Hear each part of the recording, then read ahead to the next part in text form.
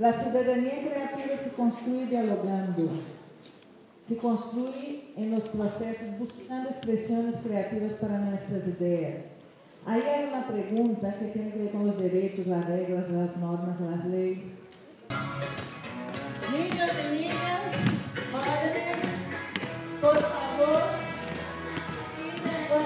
nosotros adultos no. Jóvenes y jóvenes, quiten vuestras casas el trabajo, eso es la solidaridad y eso es la presencia de interés como debe ser modo de vida en la raíz del árbol. En el axis, en el primer artículo de la cuestión de van a encontrar, están los seis valores.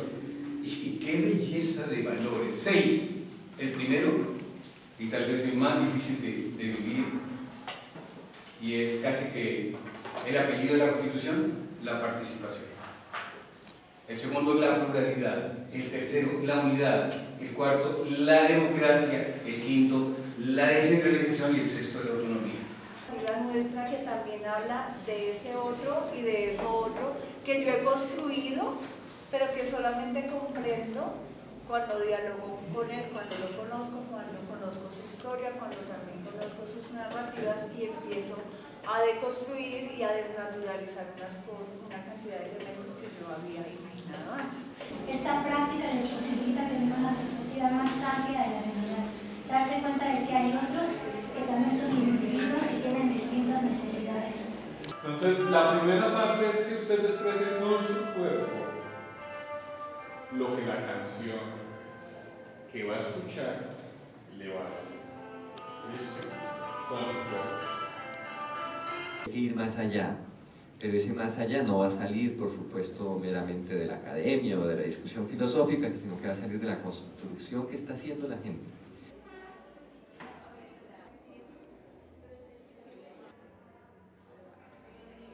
Y este equipo da la posibilidad de recursos para que los docentes pongan en marcha un aprendizaje significativo, un aprendizaje diferente una manera distinta de pensarse y una forma de juego para que aprendamos que podemos conjuntar maneras de pensar diferentes y lograr construir mundos posibles.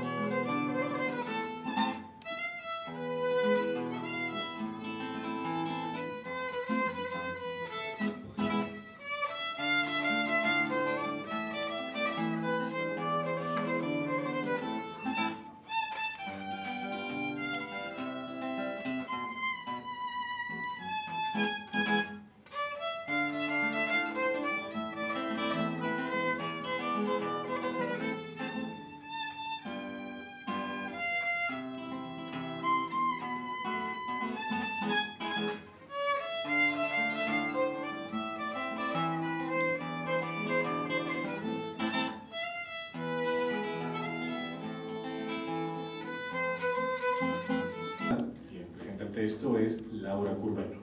Invitamos a Laura para que nos acompañe en este momento. También hacemos la invitación aquí en Merceditas, en la tarde de hoy.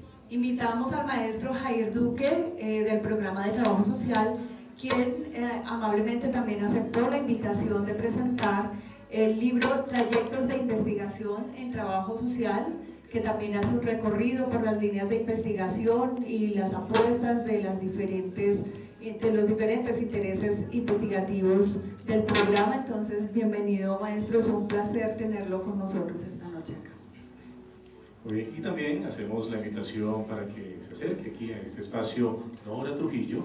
Ella va a presentar el texto titulado Adultos mayores en Bogotá y su protección integral.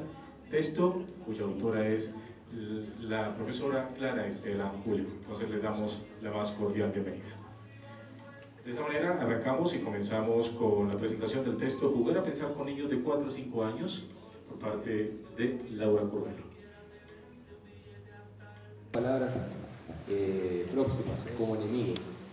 Eh, y a veces pareciera que se trata del otro como enemigo.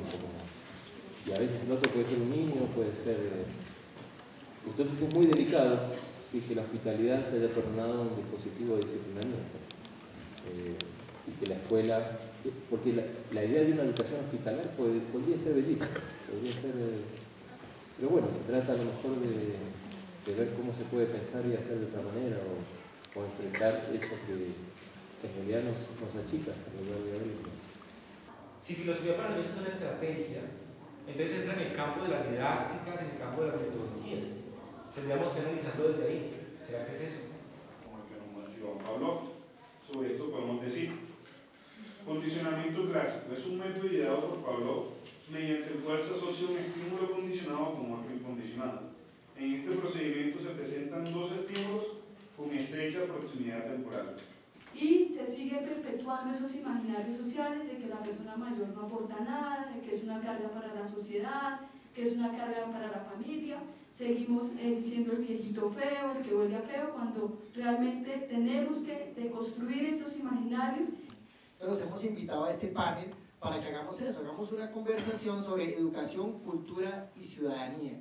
En el marco de una ciudadanía creativa, en el marco de, los tiempos que estamos viviendo, los hemos invitado para que nos compartan un poco de, su experiencia, de su lugar de reconocimiento. Ya, como si hubiese un posconflicto, pues, acuerdo, pues, no es adecuado, ¿no es cierto?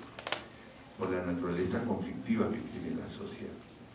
La pregunta que nos podemos hacer en primer lugar es, ante esta realidad que estamos viviendo, ante esta coyuntura histórica, ¿qué podemos hacer? La real educación, la verdadera educación, es aquella que logra dos cosas en todos los sujetos. La primera, una autonomización. Yo creo que es un diálogo de amigos, de personas que han venido caminando con con este mundo de la filosofía para niños y qué bueno que en el marco de este evento podamos tener la oportunidad de encontrarlos mm, perspectivas distintas, perspectivas de, trabajo, de reflexión, de investigación. Bueno, pues para empezar a dialogar, ya empezar a dialogar sobre esto que nosotros eh, nos hemos querido atrever a, a trabajar llamado filosofía para niños, y teniendo en cuenta que en el evento hemos tenido un marco importante de trabajo temático relacionado con paz, relacionado con ciudadanía creativa, relacionado con innovación educativa, y que hay algo común entre ustedes que es la filosofía para niños, además teniendo en cuenta que más de 40 años después de la aparición del descubrimiento de Harry, conviene hablar de los retos de filosofía para niños. ¿Cuáles serían los retos de una filosofía para niños para ustedes en lo que hemos querido llamar aquí la construcción de una ciudadanía creativa? Es decir, ¿qué tiene que decir este proyecto, esta propuesta que llamamos Filosofía para Niños, como reto a la construcción de una ciudadanía creativa. Que.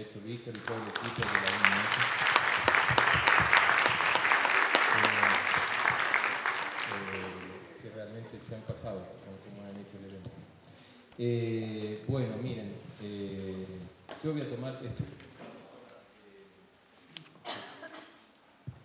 Voy a tomar este poema de Jairo Aníbal Niño, que no lo había escuchado porque es muy bonito.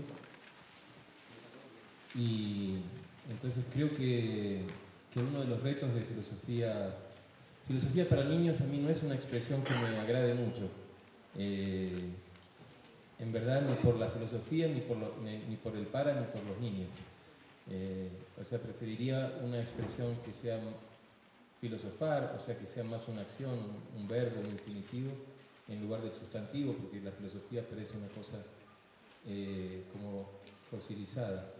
El para no me gusta porque parece que es una cosa que viene de afuera para adentro, o sea, que viene de un lugar y es llevada hacia otro, cuando en verdad el filosofar o la práctica, el ejercicio de la filosofía se hace con, eh, con niños, y niños tiene el problema del género, que en castellano, en portugués por ejemplo es maravilloso porque se dice con crianzas, que crianzas son niñas y niños y no tiene el, problema de la gramática española que el masculino se ha atribuido el poder de hablar por los niños y por las niñas también.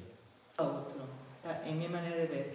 Y en la educación filosófica propuesta por Filosofía para Niños, queremos que cada persona, cada niño, cada niña y cada persona que esté ahí piense mejor por sí mismo. Añadir salsita a la misma pregunta, ¿no? Ah, vamos a la comida aquí para Diego. Sí, para Diego, para que pueda hablar los minutos pertinentes. Bueno, vamos a ver, yo que camino por el mundo eh, de filosofía para niños, veo que hay mucha gente que hace un súper trabajo con los niños y lleva filosofía para niños tranquilamente. Es decir, hay mucha gente que me está preocupada con el para. añado esa, ese matiz en función incluso de, de lo que comenta Yolanda. Para mí, el reto está, para mí el reto hoy es hacer filosofía desde los niños de las niñas, no es ni con ni para, sino desde ellos, escuchándoles sus frescuras de ideas y a partir de construir eh, ideas y pensamientos. Con lo cual les dejo ahí que hablen del, del, del para, del con, pero para mí tiene, el, el, gran aprendizaje que es lo que aprendemos con ellos y con ellas. Que para mí el tema sexista también es complicado, ¿no? Para nosotros tampoco es fácil comprenderlo. Aunque, aunque conozcamos el acontecimiento del día a día, es una cosa un poco, un poco extraña. Bueno, al escucharlo eh, remontó a México, en donde se viven muchas injusticias, el, este, la desaparición, entre otras, de los 43. Yo quisiera hacer una mención muy especial a ese equipo, al equipo Marfil. Un aplauso para todo el equipo Marfil. Junto con la facultad y con todo el equipo de facultad, la decanatura y los demás programas. Años de existencia. Ayer dentro del desarrollo de este mismo macroevento oficializábamos un convenio con la Universidad Nacional Autónoma de México, representada por la maestra Carmen Casas Razia, secretaria general de la Escuela de Trabajo Social de esta universidad. Que son mundos que hacen niños, otros que son piedras, mundo, otros que son, pues cada, cada año es un mundo diferente. Este año es un mundo rompecabezas. Y es un mundo rompecabezas porque pienso que es representativo de la labor de Marfil a lo largo de estos 10 años, que vosotros no tienen miedo de romper la cabeza y seguir haciendo ese trabajo tan admirable. Por favor, aplaudámoslos mucho.